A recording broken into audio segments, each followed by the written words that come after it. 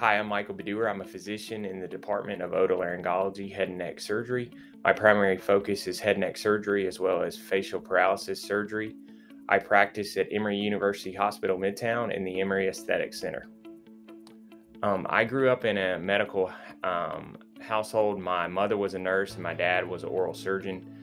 Uh, they worked together for many, many years in my dad's uh, oral surgery practice in the small town in Tennessee where I grew up. I saw uh, the relationships that my father was able to develop with his patients and saw how much joy that brought him as well as the patients. And I admired my father, so I, I pursued medicine and then went into otolaryngology, which has a lot of the uh, has a lot of similar anatomy to oral surgery, in fact.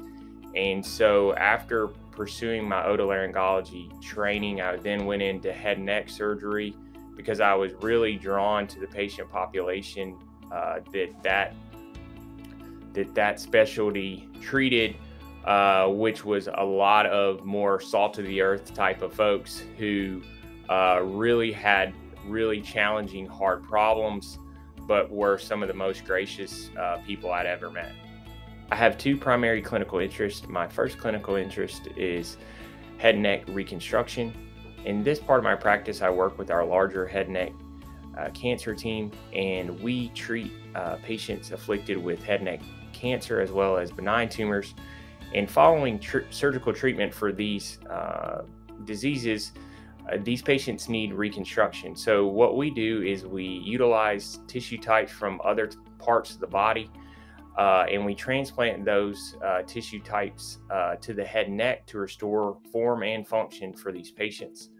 The second part of my practice is facial reanimation or facial paralysis. And in this pop in, in this uh, area of my practice, I see a bit different uh, population. A lot of these patients have been afflicted with Bell's palsy, Ramsay Hunt syndrome, or possibly treatment for tumors of the head and neck, such as acoustic neuromas or parotid tumors. And here at the Nerve Center, we offer a variety of treatments, uh, both surgical and non surgical, for these conditions. In terms of non surgical treatments, we offer Botox treatments as well as facial neuromuscular retraining. In terms of surgical treatments, we offer uh, procedures such as uh, selective facial neurolysis, as well as uh, muscle resections, nerve transfers, and gracilis muscle transfers uh, for smile reanimation. Um, I grew up in a, a, small town in Tennessee uh, where most of our activities were uh, outdoors. So, my favorite thing in the world is uh, to fish. I'll fish in ponds, rivers, uh, oceans, you name it. It's my favorite thing to do.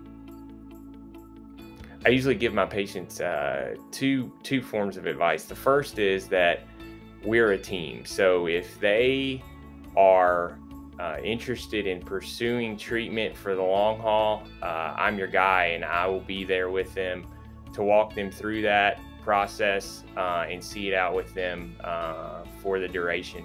The second the second piece of advice I usually give them is to, to kind of look at their outcomes and their progress on more of a, a, weekly or monthly basis versus looking at their progress over hours or days. Because what I found is that progress and outcomes are very challenging to to see over the span of 24 to 48 hours sometimes but a lot of people um, can see small improvements uh, over the course of, of weeks uh, or months. So that's something I really emphasize with my patients.